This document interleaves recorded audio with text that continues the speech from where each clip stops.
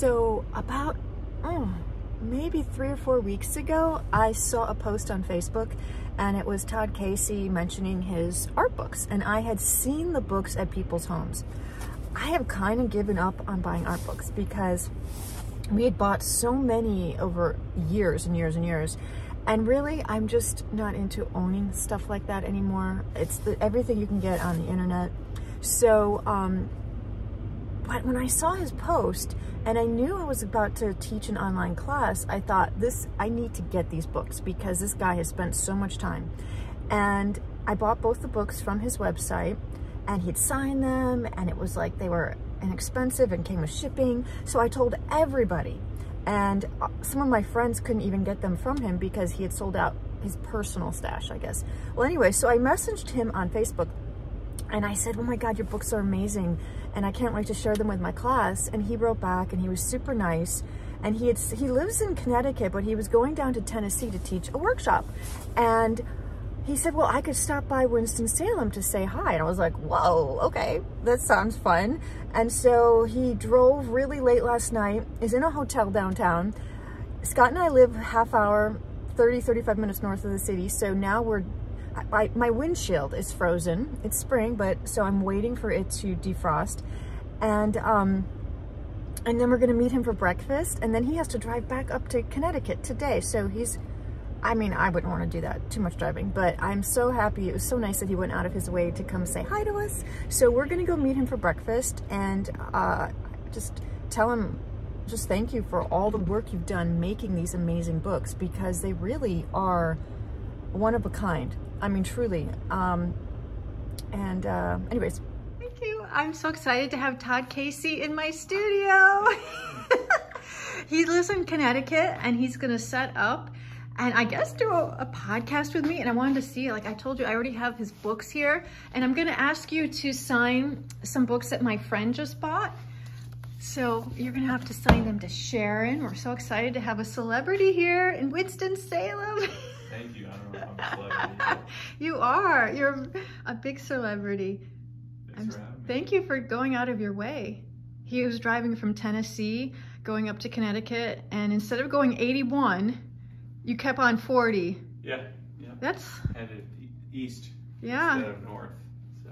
Well, if you ever do get back to Winston-Salem, um, Reynolda House has a couple Sargents, but I don't know if they're hanging one of their famous ones. It might have been up at that show in Boston. Wow. And so next time. Yeah. so he's setting up his two cameras.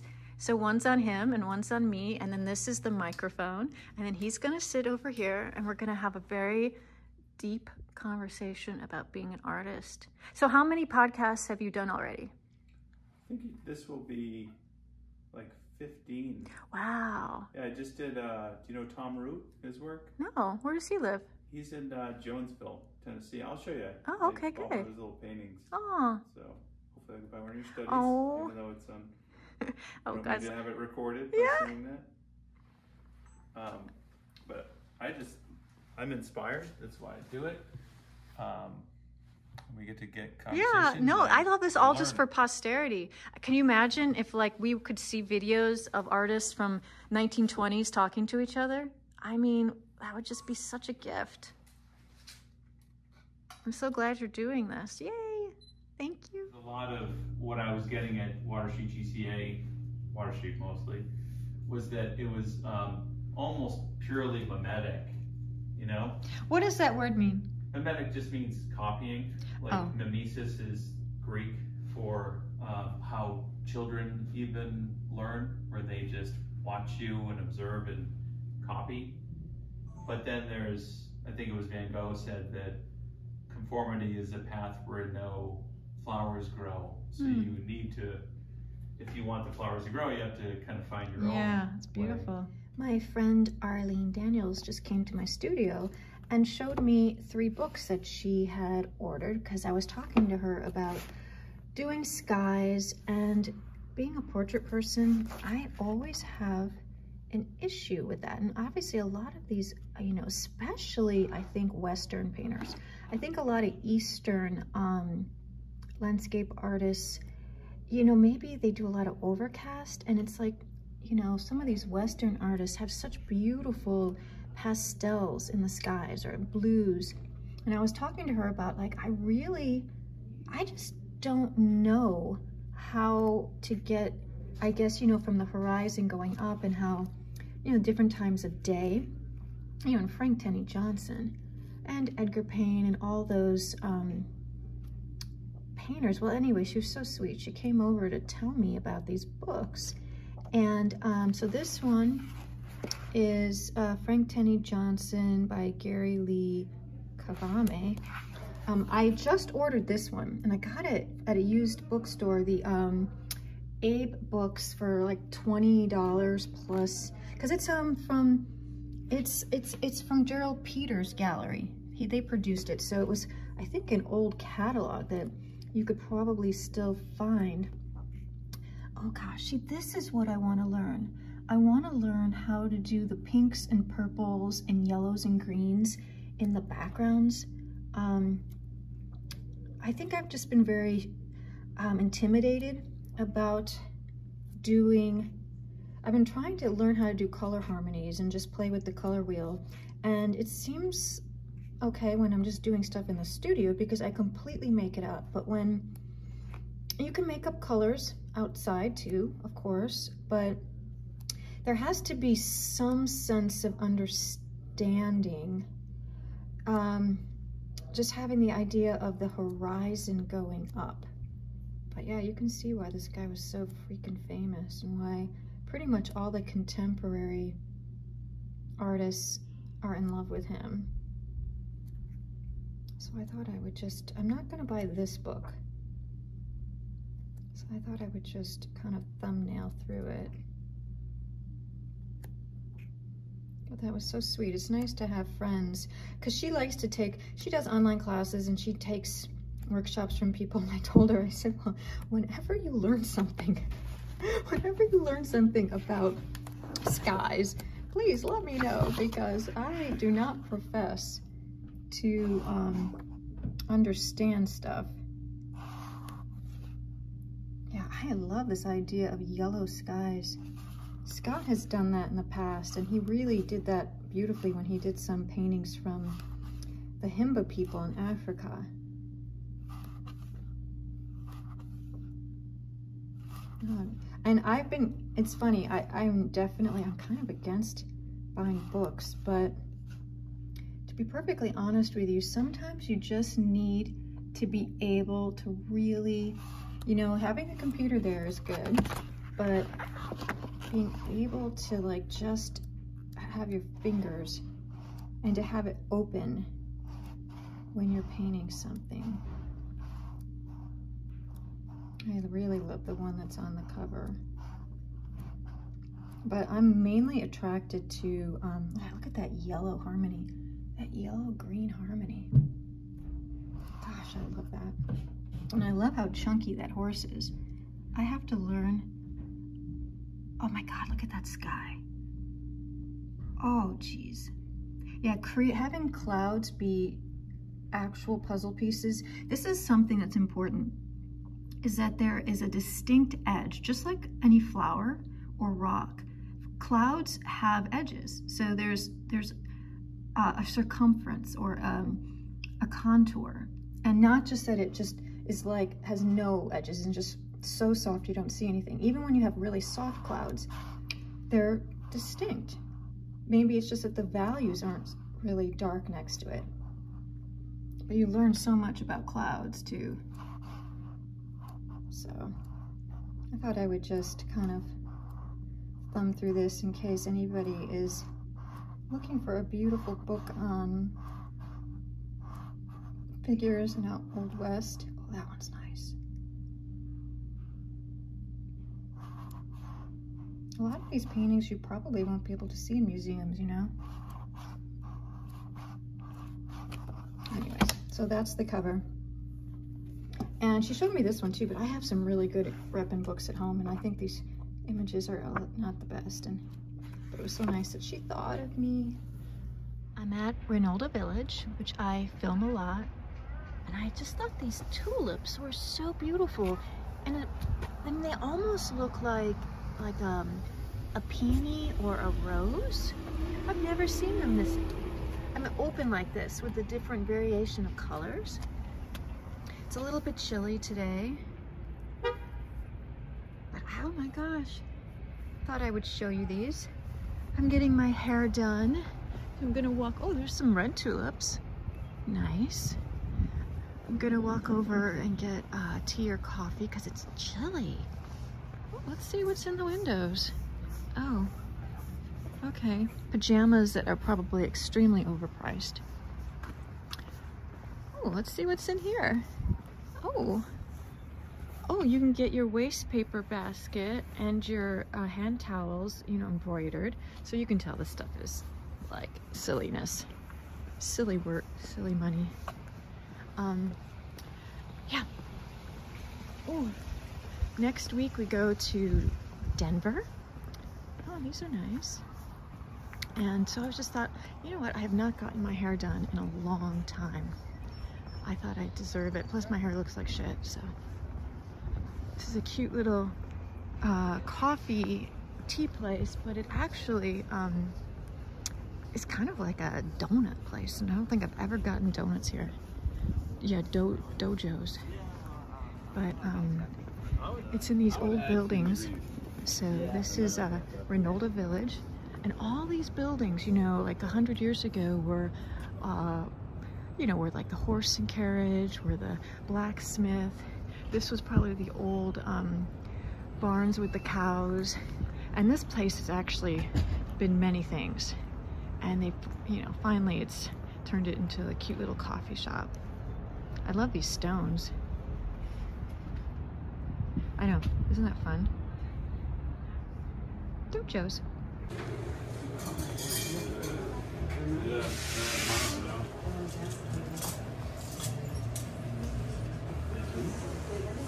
A very cute building.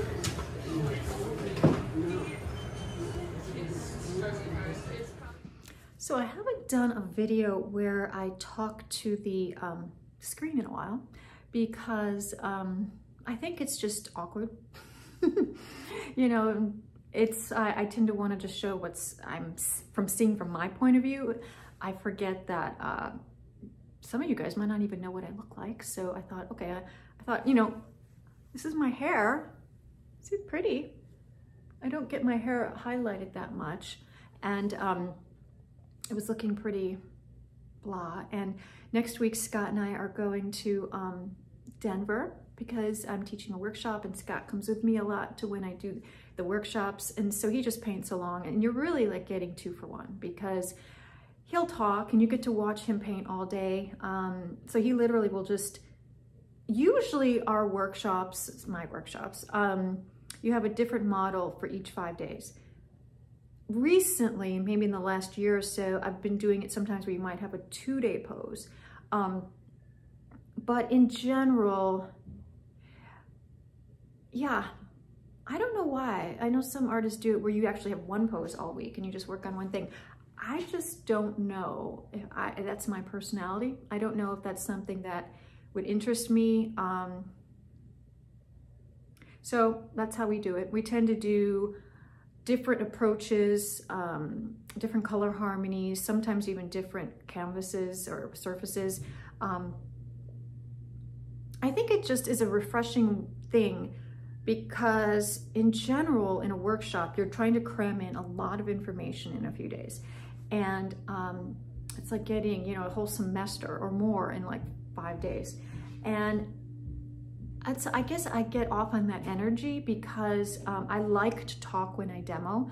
And um, I actually really I really not, I don't really like it when places want me to just teach all day because I feel then like you're hovering, you know, I feel like, okay, well, how much do you help somebody? How much do you like walk around? And then, and then a lot of times when you're just letting people paint, you're just sitting there in the corner or you, I feel like I'm not really doing anything. So I like the idea of, you know, I like the idea of Scott just painting all day people can watch him, I think it really does show you a lot of how someone would block in and then finish a piece. So he'll be working for like almost six hours, you know, like literally the three in the morning and the three in the afternoon.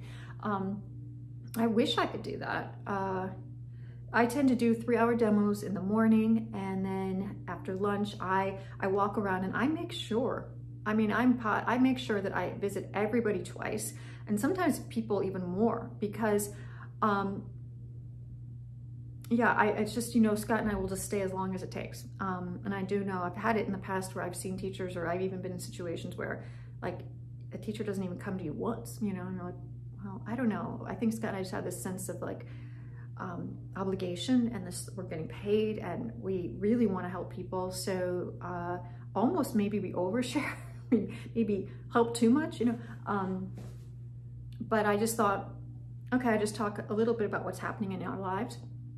And um, the five week on uh, online course was amazing. I really enjoyed it. It was the first time I did it all by myself and Scott helped me, but uh, it really helped me understand that I can do these and I don't have to rely on other people to like host them.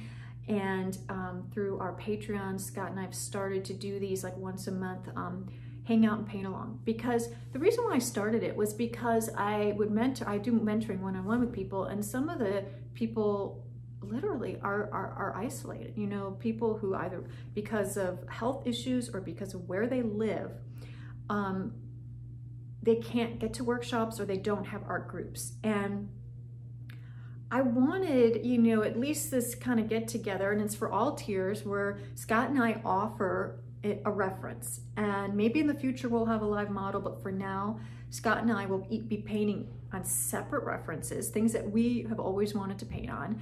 And um, so for this is how I set it up. So there'll be a high definition camera on Scott and he'll be sitting down here and, he, and we turn that table a little bit so he looks at that big monitor and then you know I will be painting over here at my monitor and I will have a camera over there for me also I have you know my other this is the monitor that I use to do zooms and all my business stuff. And um, that's my main monitor to when I do online classes, the one I'm talking to face to face.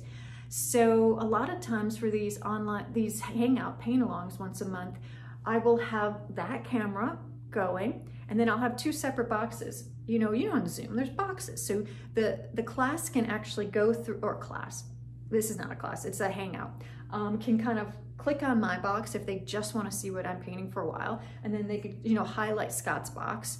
Um, and it's up to them, you know.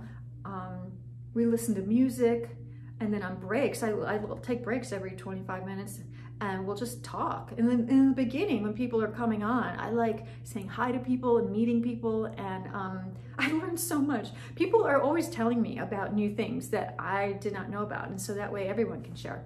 I don't record the Zoom for future because I kind of want these things to be special and to be in the moment. I think Scott and I might start re actually recording what we paint, maybe for future or to post those, but just the chat, just the talking, I want you know, anybody to be able to talk and not be nervous that they're going to be on a future video. You know, we could just talk and hang out um, people can paint along because um, I share my reference and Scott shares his reference and to the group on the site the day before. So they can paint what we're painting or they can paint on their own thing. It really is more just, a, you know how it's funner to just paint with people and know they're in the background and it sometimes it makes you paint longer and you feel kind of comforted knowing that there's a whole bunch of other people doing the same thing you're doing. Now, if you if it's not comfortable for you to paint along or, for, or you just want to join in for 20 minutes, you know, you can kind of just hop on, watch us, or just hang out and watch the whole time and chat during the breaks. You could do like house, you know, you could like vacuum and then come back and hang out and then, and then do laundry and come back and hang out. I mean, why not? Um, another thing I wanted to talk about is, uh, so I'm in this Western show in June and I, have been in it for 10 years, so this June coming up will be my 11th. And um, it's a big show. And I've always, always personally struggled with the subject matter, struggled with, um, I'm definitely, there's no, it, it's fact that I am the cheapest artist in the whole show. And um, it's oh you know that's not a problem for me but it's let's just say I've, I've tried my hardest over the 10 years to sort of push you know kind of be in a western traditional all-american genre and still get inspired. And, and scott and i have both straddled it. Now scott gets away with it more um, so sometimes he will literally almost paint psychedelic stuff and get away with it and nobody people applaud him for it. And then for me like um so i sent uh three pastels and an oil last year i sold two and um i you know i got a lot of compliments but i guess that didn't matter because i just sold two now obviously the show does not make a ton of money off of me so they're they're thinking is it worth it for her to stay in the show? Um, I mean, over the years, I've seen lots of artists never show up. I mean, they want you to come, and they almost pressure you to come to the show. So you feel obligated to pay for expensive airlines and hotels and, you know, shipping and all this stuff. And they want you to put them in special boxes and crates. And so it's a large expense. And um, so I got a phone call from the museum saying, you know, the the committee, you know, is just suggesting that they want my stuff to be more Western. And, um, you know, it did, it deflated me because I was thinking of sending some other things or I was, you know, I still try and straddle it, but it totally deflated what I was going to send because I then stopped working on those. And then I did four pieces and one I'm actually not sending just because I don't even have the heart to finish it you know, over my career, I've had lots of situations where um, shows or whatever deadlines and sending things that maybe you're not super happy with and how it could it, it's soul killing. It, it really is. And you're constantly having these internal conversations with yourself. Um, i do know that sometimes limitations can maybe spark um, creativity, but for me, I, don't i don't think that works for me. I just don't think it does. And, you know, every time I feel like I'm selling myself, you know, selling my soul or whatever, selling my soul to the devil kind of thing, um, I just don't think my work is as good as I would want it to be because it's not completely true to myself. I have stayed in the show voluntarily because I felt like out of a hundred artists, there's like seven women. And, you know, I want to be that voice of like, I don't know why, you know, why is it important to me? You know, um, I guess I just wanted to get this off my chest because I'm never going to talk about this again. And, um, so I have three pastel, well, actually one charcoal and two pastels, all of little girls on horses. You know, fine. Uh, who knows if they'll sell or not. Um, are they my favorite pieces I've ever done? No. One is maybe, uh, okay, I could live with, but, um, you know, it's just an interesting thing about limitations and shows or galleries art directing and telling you what they want and it limits creativity. It limits expansion is what it does. And and we'll see what happens. You know, it, it's going to be a real telling. Does does my stuff sell? I'm pricing it to sell. Um, does it not? Will I get another phone call? Will I just not be asked again? Um, you know, and, and sometimes, you know how we all go through life and we, uh, you know, intuition. What should I be doing? What should I be painting? you know, what's the most important thing to me? And, you know, I'm getting older, I'm in middle age, right? So I've gone through these things where I've asked myself tons and tons of questions about what really makes me happy. I know I need a little bit of fire under my feet. I know that I need deadlines to finish things because I love to start stuff. It's hard for me to finish things. Um, I love teaching. I know that as I've gotten older, that is extremely important to me because I feel that I like being transparent. I like, um, I, I can remember struggle. I mean, because I still do it. So I, even if I've been painting or drawing all this time, I still can I understand what it's like to be confused and to be frustrated and and it's just even in the technicality of art just literally trying to get form you know trying to get light trying to get color harmonies um, so I feel like I can help people I can I can support people in that I can um, and it, it rewards me it, it is you know I don't know if I'll ever make a lot of money teaching but meaning that it's not important I say that because I don't I don't see it as a road to riches. I see it as a road to like feeling good every morning when I wake up.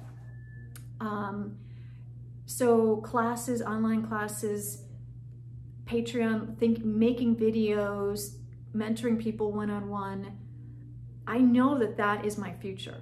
Um, yeah.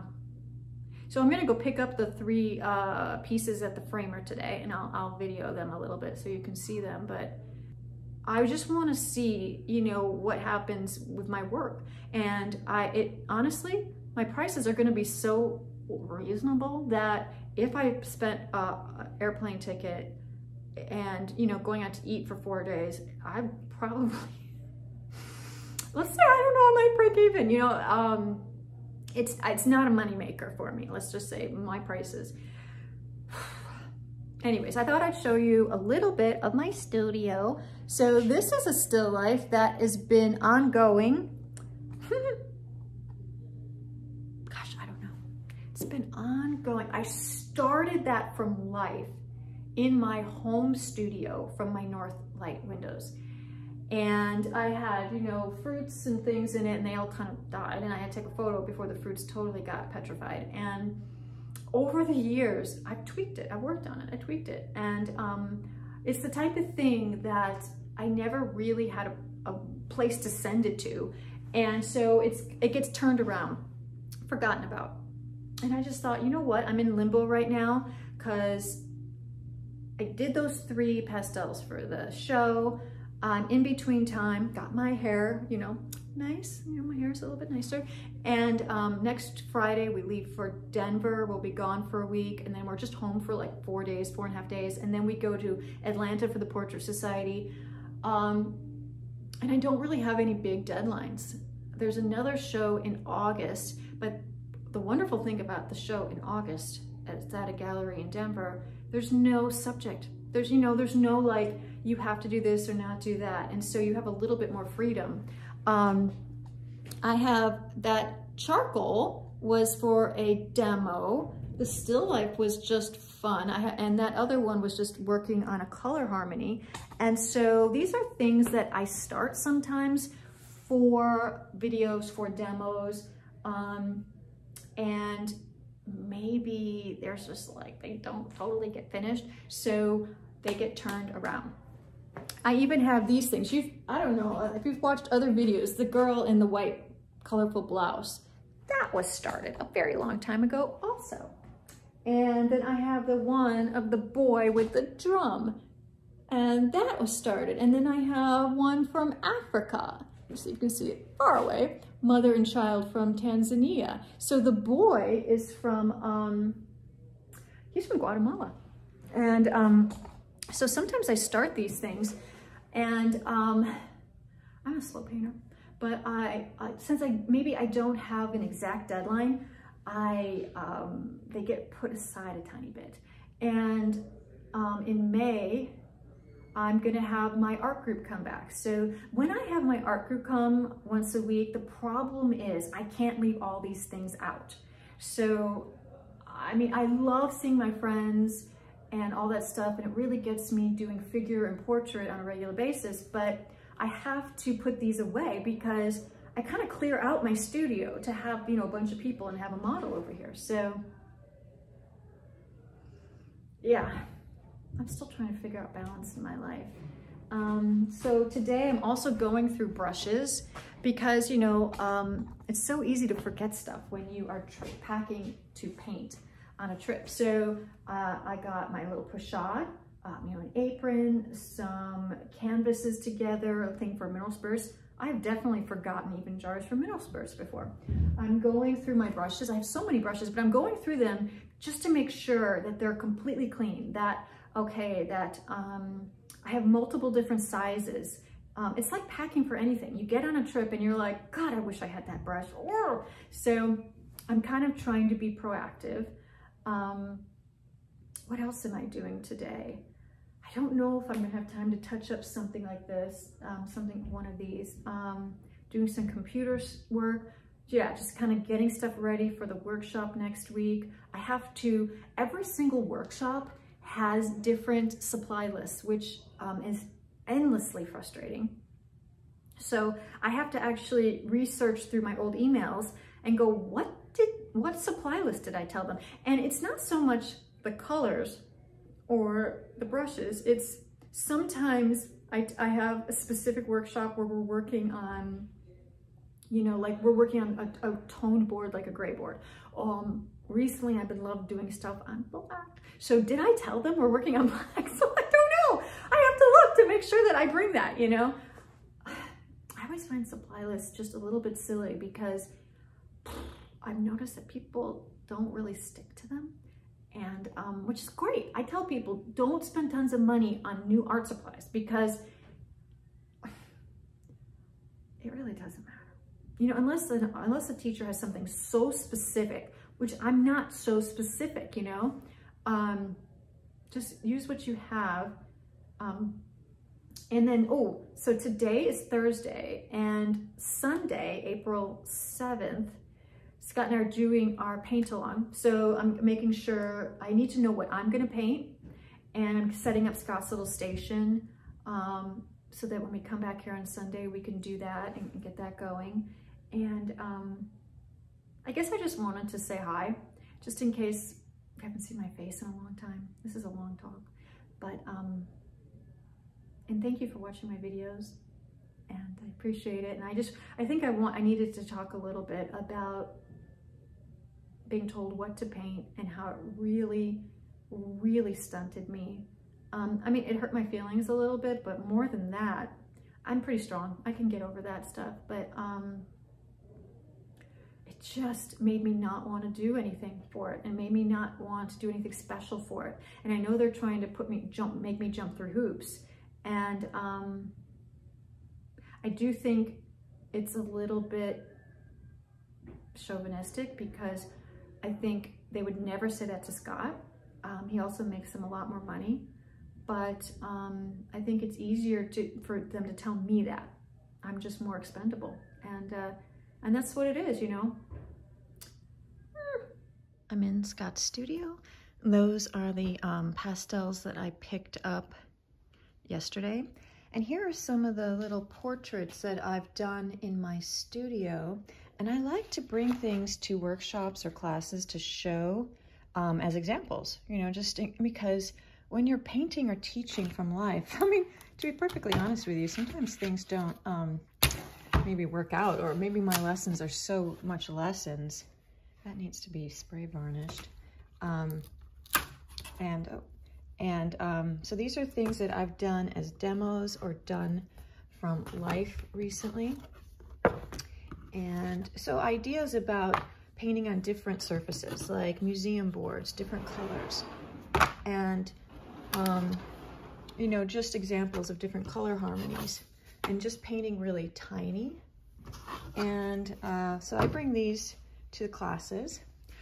And um, so Scott, would you open these? So these are boxes that we buy um, airfloatsystems.com.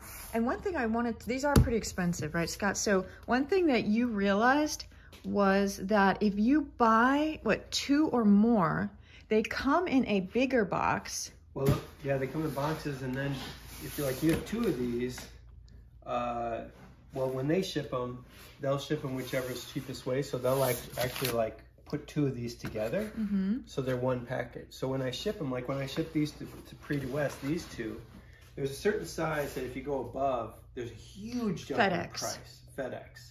UPS has the same, all of them has the same. There's a cutoff. So if you check the price, you can see what it is. So for me, two of these, if I ship them individually, they'll be like, you know, 70 $80, $70, 80 dollars individually.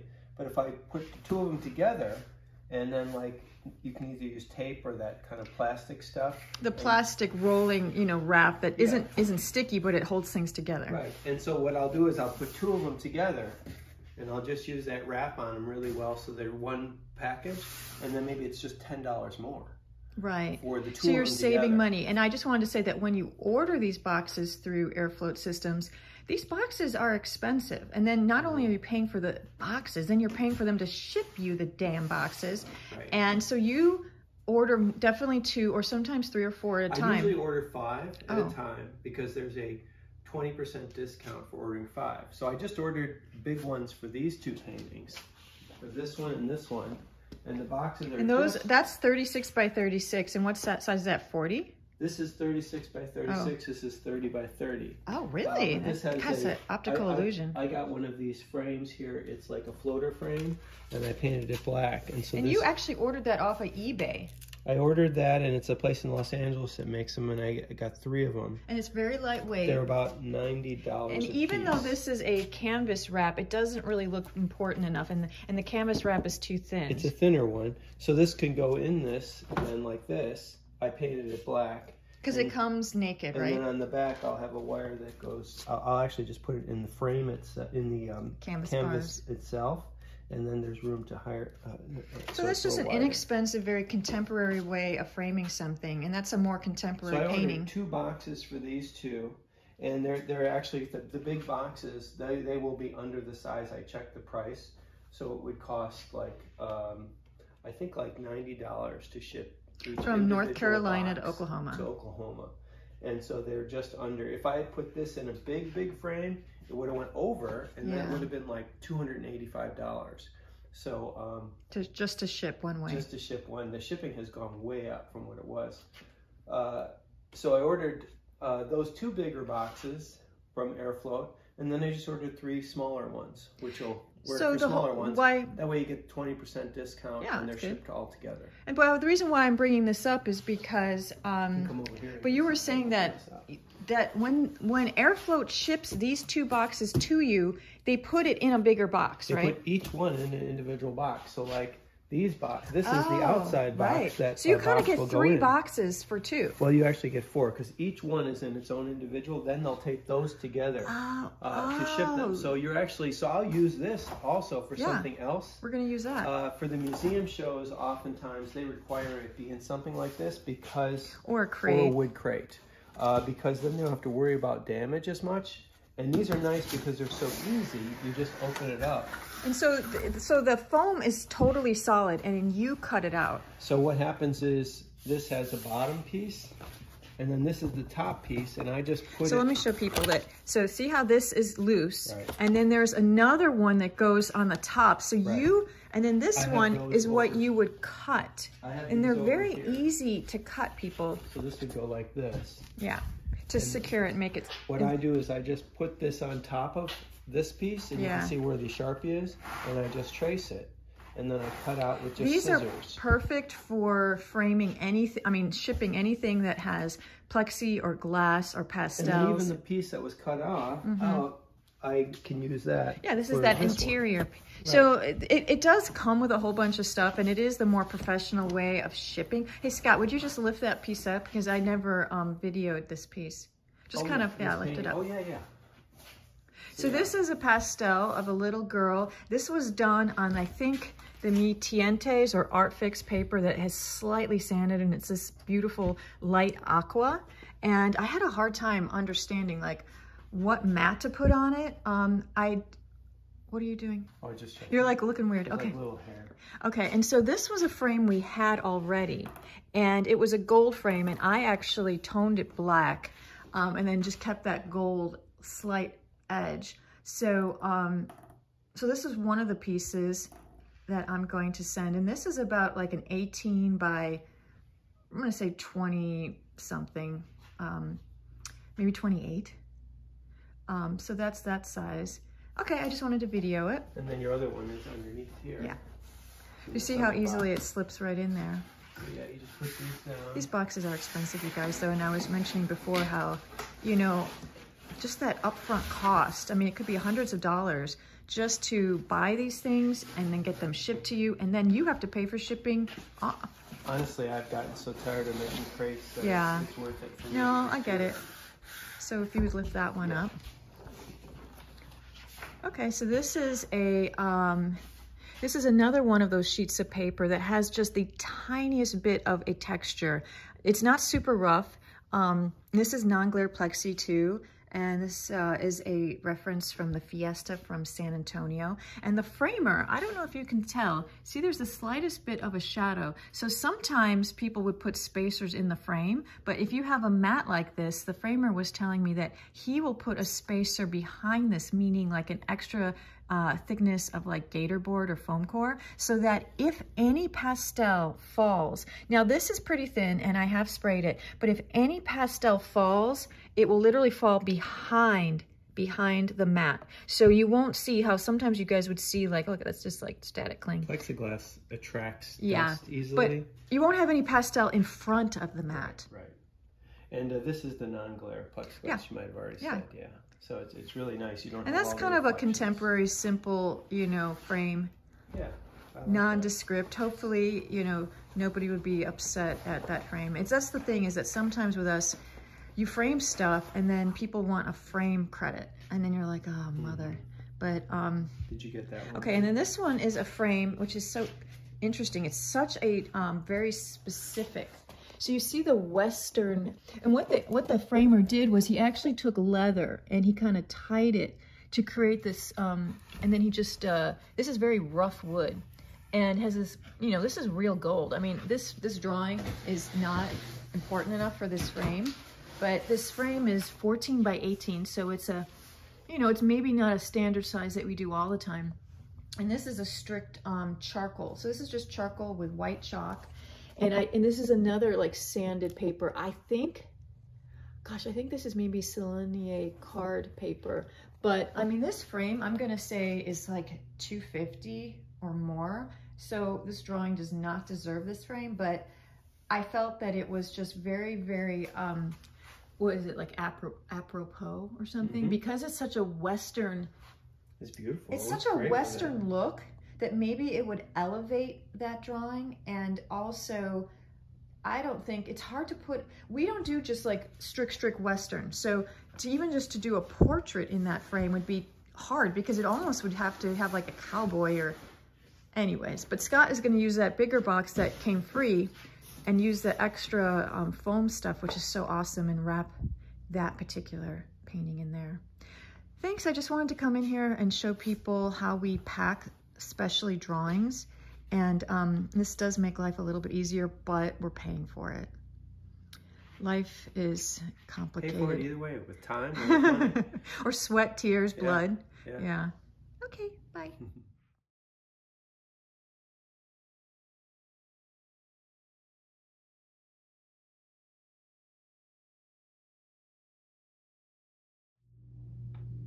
because I think that the phone video really does look a little bit better. It's, I mean, what phones can do now? Like the colors, it looks so warm. The yellows really look beautiful.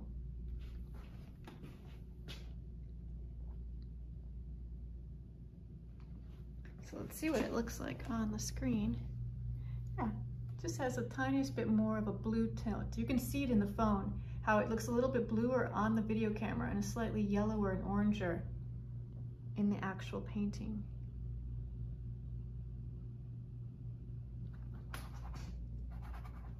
I'm painting my kitty.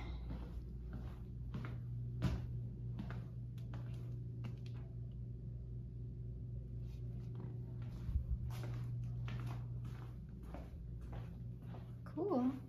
It's So fun to hang out with people.